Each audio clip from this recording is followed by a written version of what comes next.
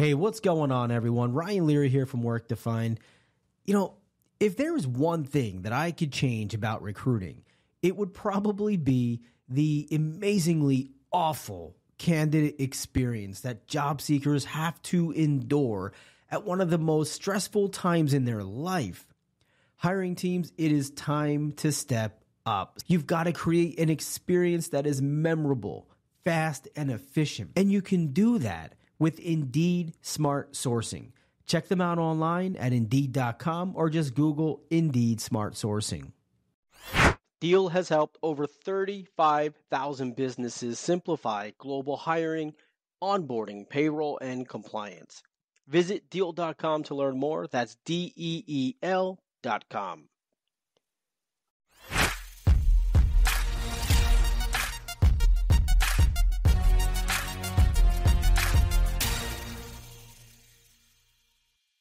Hey, this is William Tincup and Ryan Leary, and you are listening, hopefully watching, the You Should Know podcast. Today we have Vijay on, and we'll be talking about his latest book, The Alchemy of Talent. And uh, we know uh, Vijay because we serve on an advisory board together. We do. And in talking with him, he was telling us about his new book. We're like, uh, yeah, we got to do this bit, man. We got to know more about this book. So uh, let's just start. Vijay, first of all, Ryan, how are you doing? I got to do this bit because if I don't, he, he gets he gets butt hurt. So how, how are you? well, you can't just say that and move on. Vijay, sometimes he'll just go through the intro and just say, This is William Tincup. Vijay, nice to meet you. Like, I'm right here. Erased. Just I am erased. right here. Yeah. Yeah. So I, I'm doing well. I'm a, I'm feeling a little um what should I say? Um not able I don't know the right term here, but I'm looking at Vijay's You're having a hard time putting questions together. I, I, I, I'm looking at Vijay's beard and I'm looking at the scruff that I now have left. Oh yeah, that's a legit beard thinking, right how there. in God's name do I do that? Like no, that's a legit beard. That's Yeah. that's a that's a beard. That's a Mhm. full beard. even that's even real VJ, beard. even at full growth, which was just yesterday, Mm. it's still like high school patchy everywhere. And I said, let me trim it up, you know, I, I trimmed it down all So the way. my- now I'm just a cue ball. My beard uh, is it. The hairs just get longer. Mhm. There's they don't get filled in. It just they Exactly. just gets it just gets uglier. it So- is what it is. I will say now that we've decided to open the show about hundred percent, Hundred percent. the trade-off here is you too can have a thick, full, dark, beautiful beard if you're Okay. willing to take the trade-off of South Indian genetics. So that when I was graduating from high school, I was maybe 120 pounds dripping wet, and I was six foot one. So you you know South Indian dudes can have some rock and facial hair, but but I I mean you know I was like a piece of paper. when yeah, I was yeah, 18 had a full old. beard. But you If had the a wind full if beard. the wind blew, you you blew over. Yeah. What part So- of what part of uh, southern India? Where did you grow up? So I grew up in Chicago. My family is uh, comes from the Bangalore area, and Yeah, I, I know yeah. we've got several tech backgrounds in the room. So, you know, the um, my parents are both from small like small towns, but Right. now because of urbanization and where jobs are and everything, many of my cousins live and work in the tech sector. And Wow, I, I've it. been there twice. It's uh, it's fantastic. So, uh, where in Chicago did you grow up? All the way at the northern edge of the city, right where the Evanston Chicago border is. If you've Yeah. taken the red line all the way north to Howard, Yeah. uh, like five blocks off of that red line. okay. Uh, I know where you're at. All right. Do us a favor and introduce yourself, and then we'll jump into the book. All right. Vijay Pendakur. I'm happy to spend time with you today, William and Ryan. I see, Ryan, look, I'm naming you. I'm calling you in. That's it. Unlike William, who's As long as- over. Somebody loves me. I'm good. Yeah. Yeah. Um, God new author. ain't love me. Uh, um, so, you know, I think today we're talking about the author side of things. So I'll bring Yeah. up some other bio points here. Um, I was uh, in education for a very long time. I worked at five universities um, around the country. So those jobs had me moving from the Midwest to the West Coast to the East Coast and um, uh, worked on the relationship between environments and student success. So, how do learning environments shape the trajectory of students, um, and partic- with particular attention to what geeks call non-cognitive performance factors? We can get Right. dig into that if you want. Mhm. Right. Um, And then I moved into employee experience work um, in corporations and tech companies. I worked at Zynga, which is a video game company, and then VMware, and then Dropbox. And then um, after that, launched a fractional advisory business. And my first client was Salesforce. And now I'm just doing all kinds of things. And I get to be on, you know, as uh, work as an advisor alongside the two of you at a phenomenal organization, Whisk. And I have a new book out. Man, I'm, there's a lot to unpack there. Yeah. Uh, but let's let's start with the book because we could go into your background and just talk about your background forever. Uh, the the alchemy of talent. Out of all the ideas that you you had, I'm just assuming there was a post-it note involved, lots of post-it notes. What what got you to focus on this? There were there were a number of post-it notes, um, yeah. and um, I think there was a a mix of optimism and skepticism skepticism that drove me to writing this book. And so let me right. let me try and answer it with a balance of About optimism right. and skepticism. The yin so, and yang. All right, yes. I got it. So um, the harsh reality that drove this was I was the um, VP for diversity, equity, and inclusion, or the chief diversity officer at multiple um, large, complex organizations, publicly held companies. Right. And I lived through the rise, the meteoric rise, and the, you know, Icarus style contraction in the DEI space. Right. And part of what I learned in trying to lead a function through explosion and contraction was um, a lot of lessons the hard way. And I think almost all real learning happens in the in in the operational battlefield and fog of war. And um, part of what I figured out was in the search for stable ground in a function that was constantly being told to appear in different ways and then misappearing and the difference between idea and execution was tremendous. The distance from best practice was tremendous. And where i found stable ground was around shifting from the normative language of dei into the behavioral science of, of high performing teams. Oh um, yeah. and over and over again, I was able to make connections with product and go to market leaders around, hey, tell me what's going on. Let me do some journey mapping and design thinking around what's happening for your teams. And they would go, I just, I need resilience. I need resilience for my team because we're living in a state of constant disruption. Or um, I've rapidly diversified my org because we've moved into 12 new geographic markets in the last 18 months. And I cannot establish any sort of central sense of belonging for my people now because there's a level of complexity that my people leaders don't know how to handle. Or we did a, a RIF and the people who are left don't trust us anymore, even though they're still here. And I'm so surprised by this. I'm like, well, let's talk about the behavioral science of trust. Um, mm-hmm. And in mm-hmm. all of those things, I was deeply consultative and advising and strategizing and building with the business. And so when I was launching on my own and trying to think of a piece of thought leadership that I could bring to market that could help cut through the signal and noise issues facing DEI. The skepticism here is like, look, what would make sense if you look me up on LinkedIn, you're going to see multiple decades of work tied to diversity, equity, and inclusion.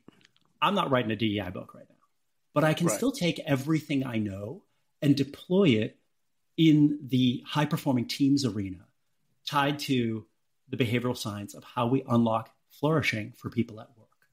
Um, and for me, I actually see that as a DEI book. I'm just not using that language. Um, and I promise the optimistic take here. The optimism here was that um, in the last 18 months, i am pretty heavily tech facing, although I do work in manufacturing and energy and transportation, but a lot of my clients are Silicon Valley based companies. And um, there's been this real increased attention to performance if you talk to any tech CHRO right now and you say, give me your top three things keeping you up at night, one of them is, well, we're doing, we're raising the bar on performance. And then if you dig in and if you're lucky enough to have a, a martini or a cup of coffee in front of you and you can have a real conversation with that person and get into the details and you, and you go, what, what does it mean for you to focus on performance? Largely what you're going to hear is uh, what I call talent hygiene or performance hygiene, which means okay, so what we're doing is we're doing some rigorous attention to nine box. That's HR language of trying to mm-hmm. plot where our talent sits against certain kinds of uh, performance and capability metrics. We're doing, uh, we're reskilling managers on talent evaluation. So, how do you do your annual performance review? And we've got some gating metrics set up so that only 5% of the organization can get exceeds and 10% of the organization has to get a one or a two, you know, needs improvement or a That's, you that's got to the go. IBM way. Yeah, exactly. There's and, and now we're doing some talent density mapping, and uh, we've got a HiPo program, a high potential program. I don't want to use too much HR language here, but you know, this is the basic playbook when they say we're focusing on performance. And so I go, okay, great, you're focusing on performance. I see that you've had three RIFs in the last 18 months. What are you doing on trust? oh, we're not we're not doing anything on trust. I see that you um, you're you know when when we've been talking, you've talked about how uh, your intent to leave score is actually pretty high. So it seems like you actually have a crisis of belonging or resilience on your teams. Hi, I'm Stephen Rothberg, And I'm Jeanette Leeds. and together we're the co hosts of the High Volume Hiring Podcast. Are you involved in hiring dozens or even hundreds of employees a year? If so, you know that the typical sourcing tools, tactics, and strategies, they just don't scale. Yeah, our bi weekly podcast features news, tips, case studies, and interviews with the world's leading experts about the good, the bad, and the ugly when it comes to high volume hiring. Make sure to subscribe today. What are you doing to reskill managers to lead for for belonging or resilience? Or what's your connection strategy now that you're 80% hybrid and 15% remote and 5% in office? Uh, oh, we don't have a connection playbook.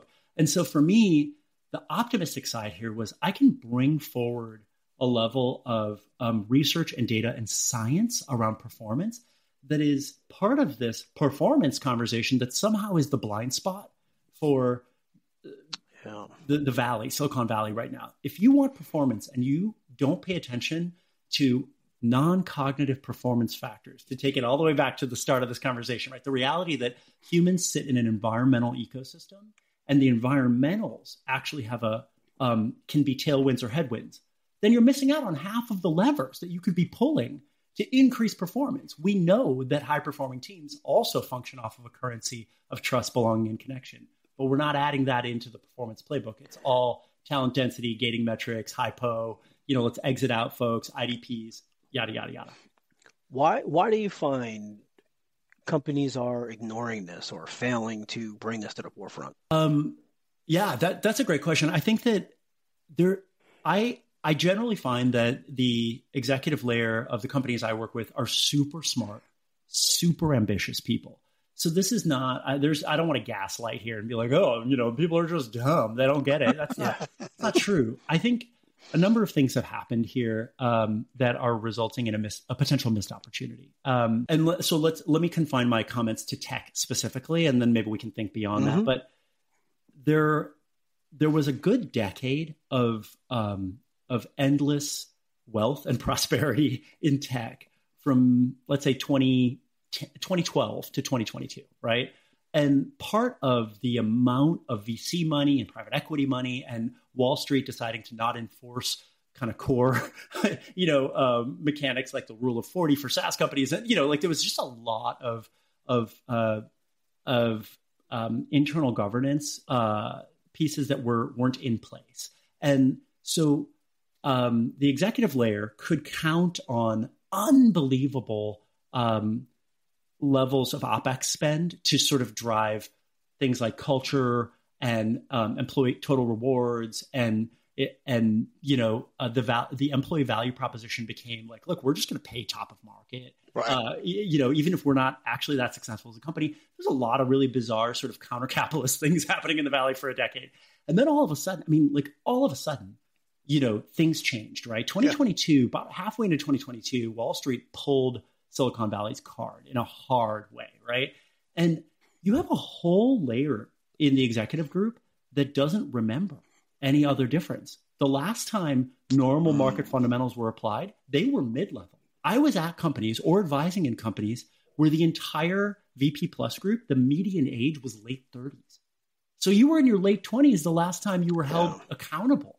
So this is an a, a, this is actually a bridge of empathy that I use to remind myself that people are like in shock right now around like, oh my gosh, we've got to hold folks accountable. We have to be performance based, and the first thing you go to is the stick, right? Between carrots and sticks. When I say the stick, Right. you Right. go to the stick. right? And your your C suite and your exec team is under immense pressure from their board. The board's gotten fiduciary all of a sudden, you know, and you're like, oh, so then you go to the stick first, and you're like, look, everybody needs to be on an IDP, and if you know, we're gonna we we've been tolerating underperformance, and so the CHRO is is suddenly you know like being whiplashed, right, to like you know make a right turn, and so I I do think.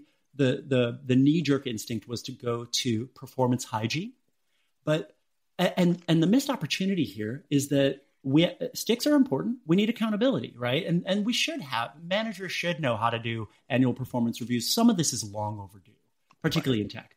On right. the flip side, though, we need to understand that humans, Homo sapiens, our our act, our software has evolved over tens of thousands of years to also respond to environmentals that we can take advantage of here and and amplify performance if we just had a broader playbook. And so that's that's the optimist read here, and I and I do think history sides with optimism. Um, is that we we need to be able to expand the dashboard to add in next to the sticks some volume knobs on on things like you know trust and belonging and connection, which I know sometimes particularly to an engineering leader, could come off as soft. But if you actually help them see the science, and a lot of what I do as a consultant and a speaker is talk about the behavioral science, the neuroscience, the data we have that actually proves out the business case for these things, people are like, oh, that makes sense. And so partially, I think that you know we're we're in a um, a paradigm shift, Ryan, and um,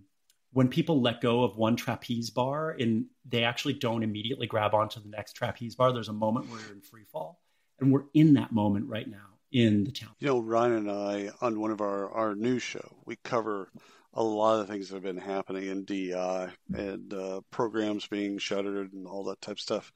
And uh, it's fascinating to me because I think what I well what I like about your book and the the uh, approach is to make it a business decision for talent. Like, okay, we can talk about race, we can talk about gender. We can talk about all of those things. Not opposed to having discussions about any of that stuff. However, why don't we just talk about how do we create high performing teams? There isn't yeah. a leader of any company of substance that would say, no, no, no, no. I don't want to talk about I don't that. want that. Right, right. Exactly. I don't want that. Exactly. It's kind of every one of them is going to want that and they're going to want to understand, okay, here's how we construct, here's how we go about creating high performing teams. And oh, by the way, a derivative of that is DEI. Uh, is inclusion, know. right? Inclusion inclu- is, is a catalyst, right, for That's human right. performance. Yeah. Right. Yes. But the but the what I what I like is you've created an argument that there is no counter argument to for business leaders. Yeah. Like if you came at them with belonging by itself, I think you get half of the audience. Yes. Right? Yes. Half the audience would go, mm, yeah, I don't really care if they belong. Yeah. I just care that they get their job done. Yep. Right. Yep. And same thing with with all of inclusion, equity, equality, diversity, all that stuff. That they're not defensible positions to the executive and the board level. Where hey, is it a is it is it good? Is it smart? Is it the right thing to do? Yeah, the moral part of this, no one disagrees with but you're making a business case for high performing teams. Some of that will trickle down into all of those areas. Yes, yes. Have Ryan William, did you uh, catch on to Nassim Taleb's work on anti fragility in the economic ah, space? No, I have not. So you know Nassim Taleb, famous for Black Swan events, right? Um, yeah. A number of years after the Black Swan moment, um, brought forward this idea of anti fragile um, things. So, huh. quick, uh, you know, quick review for the listener. You might find this novel, right? I did when I heard it. So you have you have three categories of things, and we often only define the first two, and we leave the third one undefined. You have fragile things. Fragile things are things that break under shock or friction. Um, there's plenty of examples in the product design space. There's plenty of examples in the thought space uh, your friend that comes through with the clickbaity hot take in a debate, and you're like, wait, but what about? And then the whole thing falls apart. Fragile idea, right? Um, on the opposite side, you actually have robust or durable things. Robust or durable things are things that withstand shock or friction, and these are well understood. Uh, Nassim Taleb uses the example of a wine glass versus a plastic cup. If you drop the wine glass, it breaks. If you drop the plastic cup, it withstands the shock what about things that actually get better when exposed to shock or friction? So this is actually the this is actually the first chapter of my book. First chapter of my book is not about trust, belonging, or connection. Right. It's the it's the concept of anti-fragility and the relationship to high performance teams. And so here's here's the through line because I think you're you're pretty analytical listener base, right? Um, the best vi- this most solid ground for business leaders is uh, on high performing teams that I felt I could contribute to. Right. Is um, team chemistry that unlocks innovation potential. Uh, when I'm because I'm so heavily valley facing in these tech companies, team leaders and my conversation with many many team leaders across multiple parts of the valley, I need my team to be more focused on. Great, let's look at the science of innovation. And one of the things you see on teams that consistently outperform in innovation, and there's 20 years of research to support this, is that friction is a key driver of innovation. Conflict. Friction upends yeah. conformity and enhances yep. deliberation. I'm using a line from a piece of research in, that came out in 2014. Upends which, conformity and enhanced deliberation. Which, ironically, is diversity. Boom. That's it. So, th- so that you, you, that's the whole thing right there. Is yeah. So what I do when I'm work when I give a keynote, I have a keynote um that you know I do at conferences, and this, this is a key driver for how I end up engaging with businesses. Oh my goodness! Bad touching, harassment, sex, violence, fraud, threats, all things that could have been avoided if you had FAMA. Stop hiring dangerous people. FAMA.io. Ready to launch a career and future you can be proud of? Welcome to Merrill, where an industry leading advisor training program will help you get licensed. And with lead gen support from Bank of America's vast customer base, you'll get the referrals you need to establish your own practice. It's time to see your career charge forward with Merrill. Apply now at careers.bankofamerica.com. Copyright 2024 Bank of America Corporation. And the keynote opens with the, this I tell the story of the research on friction and, and ideation and innovation. And everybody in the audience is like nodding, right? And then I talk about friction in our own lives, right? And the times that I've been in an echo chamber when my board of advisors, my personal board of advisors, is too similar to me. And those right. are the times I have epically bombed in my life. and, and the times that I've been lucky mm. enough to have people who call me or who are willing to stop and go, dude, I think you're making a huge mistake, either with a tactic or a life choice or don't propose to her. She's bad for you. you know, all the things. Uh, and you know, the the the friction is if you are ready for it, can unlock anti-fragility, where it actually improves your process. It's it is a catalyst for transformation. And the great setup here is that there's fabulous research that shows that it is not diversity alone that gets you there because actually average management of diverse teams underperforms against homogenous teams. Homogenous right. teams are easier to manage. That's right. Um, if you buy into diversity as an on ramp to friction and friction as a catalyst for anti fragile outcomes, you actually need the the leader to have the catalyst to tap into the power of that diversity. And I position trust, belonging, and connection as the catalyst for the alchemy of talent. That it allows you to take diversity as a as a form of friction right. and actually turn it into uh, consistent outperformance. So the whole thing is you could talk about this through DEI. There isn't really a reason to. You could just talk about this as the science of high performing teams. Um, and luckily, the research is on my side. Truth. Can we can we build high performing teams before we have high performing leaders? Oh snap! God, Ryan, it's Wednesday. I don't know if I can be smart enough to answer these questions on a Wednesday. um, Dude, that was awesome. Yeah. So, all right, there you go. So let's. Uh, I'm going to think out loud, right? It's a, uh, it's a, it's a, chick, it's yeah. a chicken and egg discussion. Nobody's so, listening. We're not recording. Think out yeah, right. Which one comes? Which one comes this first? Space. This is a safe yeah, space. So I think what we what we space. what we often do in organizational dynamics is we define high performance for a leader as being an unbelievable individual contributor, and right. we reward them mm-hmm. by giving them three to five people to manage. So, which they may or may not be suited to manage. Exactly. High performance yeah. leadership is so different than high performance Correct. when measured on the nine box, right? Like mm. this is this is the mismatch here, right? Like yeah. there's a leadership tool toolkit that is measurable, that is defined, that has business right. ROI, that is different than operational and productivity tasks, right? Like, Right. and, and everybody has different strengths and weaknesses here. I remember when I got my first promotion in my 20s to managing a team. Um, and I had like, it was on a lark. There was a sudden change in the org and there was a sudden leader departure. And the leader who was leaving asked me if I could step in as an interim director. Um, real talk in retrospect, amazing opportunity for me, but like it shouldn't have happened. I had no idea what I was doing. was. This person took I- a huge leap of faith on me. Yeah. And the thing that came out of that moment is I actually came to learn I am way better at leading a team than I am as an IC. My productivity really? went up at work. My um, self efficacy, my belief in my ability to do the job went up. I, Interesting. I stopped operating out of my drudgery zone and I was actually in my genius zone far more often. So for me, leading a team put me in my strengths 80% of the time. oh, we're But that's not always the case. I opposites. right. That's not always the case, right? And so in especially in corporate settings, we tend to reward um, Right. unbelievable Ferrari level ICs, right? Like people that just Right. turn around. It's like, Right. hey, your reward is we're going to saddle you with a team. And and you know, Google really figured out after a while we have to create a promotion track for engineers that doesn't involve them managing people. And that, this Yeah. is how you get the the Mhm. unlock of the principal engineer status, right? Yeah. Um, because some of these folks you do not want managing people, and I say that from a place of love. Like, um, and and you're really hurting your own business. You know, um, was was Einstein a good people manager? Probably Not. Probably. Not. not. Um, so nope. so uh, No, Ryan, yeah. is is that is that a good answer to Yeah, your question? Yeah, I, I- I think so. And I think of we've had these discussions before where I, I'm thinking of an example of a, a sales leader, Mhm. somebody who is just crushing Great- quota, right? Great IC. Yeah, Got it. fantastic at sales.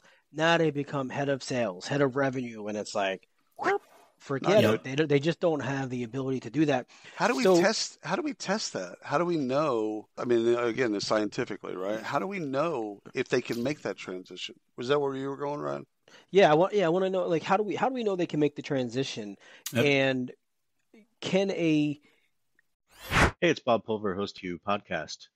Human centric AI, AI driven transformation, hiring for skills and potential, dynamic workforce ecosystems, responsible innovation. These are some of the themes my expert guests and I chat about, and we certainly geek out on the details. Nothing too technical. I hope you check it out. a low performer in a group, obviously they can be a great manager. But Mhm. how does an organization pick out the, you know, we were talking earlier about the, you know, you're going to be the five. We had we need we need twenty need a percent of the team to be at a one. Yeah, How do we know that that one just isn't a crappy employee? Mhm. They're an excellent leader they're of the rest. Yes, yes. And and so one, I should say, um, I think uh, a Great forced question. assignment, um, forced a forced distribution of certain amount of people must get a one I hated um, that. is unbelievably toxic um, in organizational I. I And quick quick story. Vijay. I Yeah. worked at IBM after they acquired Kenexa, and Mm. that was the one thing we needed to do. yeah. okay, There was there was always certain certain. number of five, force number of ones. Who's your who's your average? Con, you know your your mainstay contributor. It was, awful. It's so and- unfair. yeah, yeah. throw it, I- throw a dart. That's what we did. When I was I was the dean of students at Cornell University and um, in a previous life, and there were still organic chemistry professors um, doing a hard curve, meaning Oh yeah. Oh yeah. uh, you know only ten percent of the class can get an A. right. But right. when you're at an Ivy League university, this means that a 94 on the That's right. exam was getting students a C minus. And so, in trying to meet with the chair of the chemistry department, and and um, the reality, and this is some people might find this interesting, but like um, the reality is that that system actually has a n- asymmetric negative impact Hundred on percent. first generation college students, working Yeah. class college students, adult veteran learners, students with disability. I mean, really, it rewards. I don't even know who it rewards. It's not a good evaluation of whether you know or It's horrible. right? Yeah. It, it it is like some. I don't know, like the Spartans having to kill their puppies. Like it's just a Yeah. model of like I don't understand what this is supposed to do, right? Um, and so I yeah, but in going to try and change these systems, people are so wedded to like this is how you sort the wheat from the chaff, and I'm like, I, I don't. I don't Is know. it? It? seems extremely toxic and demoralizing. So yeah, and, just want to name and, and random. and, and So- random, especially because Ryan, to Yeah. your point, sometimes somebody can be underperforming not because they have no talent, but that their talent is misaligned against their current scope. Right. And and so I think that really savvy organizations right now, and there's many that are doing this, are Right. actually putting a premium on internal talent identification and talent mobility because they realize that there's an extraordinary inefficiency in their go to market for talent Right. acquisition. It's Right. both inefficient in, in the normal churn cost of recs and posting and maintaining your TA division, but also I, I used to use this phrase, and this is this is a little rough around the edges, but I, I've watched some of your episodes. I know that you, you keep it candid, but like like we would always say back in the day in one organization I was in, um, if you were trying to make an, uh, a hire and you'd post it externally and you had internal applicants, we'd be like, well, so are we going with the crazy we know or the crazy we don't know? because like everybody has made a hire on an external applicant where you were like, this was the best interview funnel ever. Their work sample simulation was crushing. And then they come in and they're just bananas. And you're like, why Yeah. did this? And like the person that's been with you for several years, you know certain things about them. You Sorry. know if they're stable, if they're kind, if they if you can count on them to deliver work product when they said they would, if their say to mm-hmm. do ratio is high, stuff that you just don't know when you're interviewing an external. So organizations, especially in um, really tight talent marketplaces, are realizing that they've got to get a lot better on internal talent analytics. Now, how we do this is a complete quagmire, right? Like uh, whether we go the skills model, the competencies model, how we can use generative AI to better map um, existing talent against um, um, non-linear career pathing. I think there's a lot of work to do in this space. Right. I'm not a subject matter expert in this. I can have an interesting conversation, but you you have people in your in your circles who literally this is all they do. I would say, Ryan, um, to go back to your root question, which was, you know, um, I'm trying to I'm trying to take it back to this question of like, what do you do with? Oh, uh, is is a person who's a one, you know, like on the team? Yeah. Could they be a good team leader? You know, part of uh, and then William, you jumped in and you said, how can companies actually create a better model, right, for understanding leadership capacity as opposed to performance or productivity metrics that have nothing Right. to do with leadership?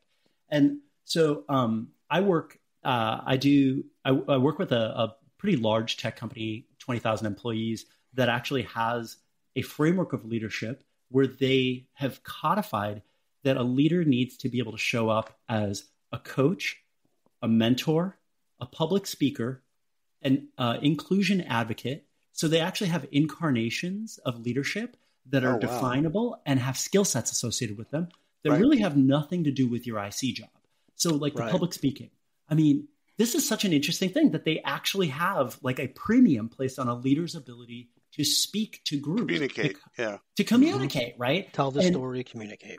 when you um, go into their HiPo program for aspiring and future leaders they actually their whole curriculum is based off of these five incarnations of leadership and for they're so i love their approach to speaking they actually have a group of improv actors that train people in extemporaneous speaking Yep. do the workshop and the and the role playing to build the skill set around um, especially for leaders that don't love this part of their job. But you Right. have to be able to pull your Mhm. team together after a really bad company all hands where the team is upset, and you got to be able to facilitate some kind of a conversation. and and how do you do that, right? And and so it's there. I do think first and foremost to distill that into something that is tactical and, and practical is have a model, have a model of leadership that is competency based, to use very old words, that that is contextual to your company. So a sales leader in a SaaS company um, that is already in a mature stage of its business development may look and feel very different than a sales leader in a consumer goods company that is in a zero to one build. You know, so again, that leadership model has to be so purpose built for your business and its stage on the maturity curve. That would be my guidance there. So, uh, last question for me is: you've done you've done some wonderful work on anti-fragility and talking about that, resiliency and talking about that. Do you do you find companies talking about ambiguity or people that can consume ambiguity? And if so, what's the what's the take, or what what do you have on that? Yeah, yeah. So um, the uh, this this is great. I love that you you came here. It's such great counter signal for me because the preface, the title of the preface of my book is Disruption Fatigue is Real. so like, and I know you two didn't read my book. sure, not yet. I I read it twice, dude. I Yeah, mean, right, come right. on. Um, but but you have an so- audio but- version? great, great, great counter signal though, right? That that I think that the trail of gingerbread crumbs is, is very clear, right? So um, I open with a with a preface on um, the human relationship to disruption and ambiguity because this is actually root cause analysis for me as Right. a behavioral scientist that that looks at the relationship between humans and their environment and performance.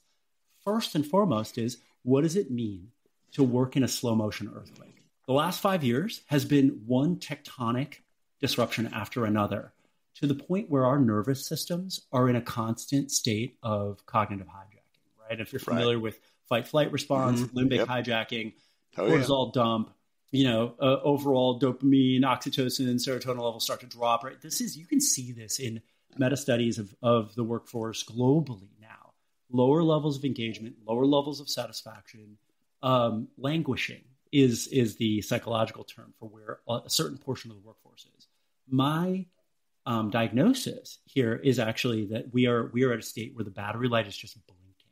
We have been disrupted to the point where um, where the playbook has to include a form of reattachment to work, our team, our boss, our company, our organization, because um, and humans are actually terrible with ambiguity. Um, ambiguity uh, first hits our our um, dashboard, our like precognitive dashboard as a threat. Yeah, And of course.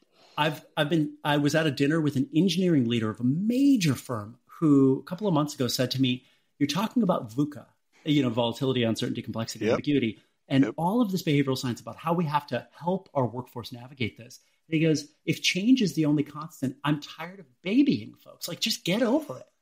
And I'm like, "Okay, but so you, you're not actually getting the point here. Change is the only constant, and we're hardwired to experience it as a threat.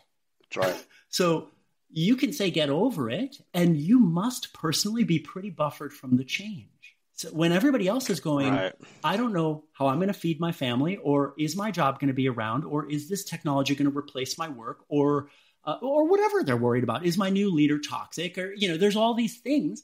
That's where we where, where the what's in it for me shows up strongly. You had a leader on um, uh, your show recently who talked about change management, right? And you had a great Mhm. conversation about getting back to like first principles when people are experiencing volatility, uncertainty, complexity, and ambiguity as through a fight flight response. And if you're going to be like, change the only constant, you'll better get over it. It's like you're, uh, well, Mm. then, you know, garbage in, garbage in, garbage Yeah. out, to use a very old Silicon Valley adage, right? Your, your Yeah. model, your model for change management is off. You're, you're not recognizing um, the, the core software that Homo sapiens have. And, and, and you're going to miss out on the chance to actually retain and advance um, top talent, uh, innovation, and high performing teams. All right. We'd be remiss if we didn't talk about how to get your book because today is a soft launch. Yes. So, uh, where's what's the bit? Where where where do people need to go? Because listening to you, I can just imagine the audience is going to go, "Uh, yeah, I want to know more about that guy." I So- would I would love it and be so grateful and honored if people would pick up a copy of the book. Um, there's two ways to do that right now. So it's Wednesday, September 11th, uh, while we make this recording. If you if you are a fan, you can go to Amazon and hit pre-order. And this is so critical to the way that the publishing industry works, author analytics, lists, algorithms, all of that stuff. Oh yeah. Um, but there's some delayed gratification in this approach. So you have to be the kid that doesn't eat the marshmallow. Now, as the kid that always ate the marshmallow, I Yeah, also yeah. know that that's not going to work for everybody. So you can also just if you put my name Vijay Pendakur into Google, you can, my website's the first hit. You and there is a book page that has a link to buying it directly from the publisher. So the book is called The Alchemy of Talent: Leading Teams to Peak Performance. The publisher is Amplify Publishing Group. You can go to Amplify Publishing right now, hit buy, and the book ships to you. Because some people want to eat that marshmallow now. You want that sweet, fluffy right. goodness, right? Dude. And and I, and I totally understand that. But if you're a super fan, you do both. well, one of the questions pre-show I asked you, I said, do they have to, uh, with the publisher in particular, do they have to order in bulk? And you're like, no, they want one book. They get one book. And another thing that came up in pre-show that I really loved is you wrote it in a way that people can consume it in a flight. You know, Yes. from let's say Right. Austin to San Francisco, it's about three and a half hour flight. Yep. You can consume it in that flight, Yes. and and Yes. so it, it's check it not, out. Product demo. We're going to product demo this. I've Ah. got a thin head, right? We talked about me being skinny before. So the book is even skinnier than my skinny head.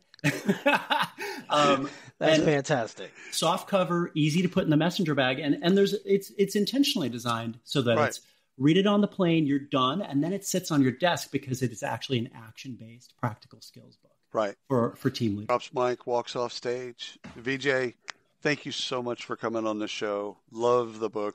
Ryan and I will promise to read it at some point.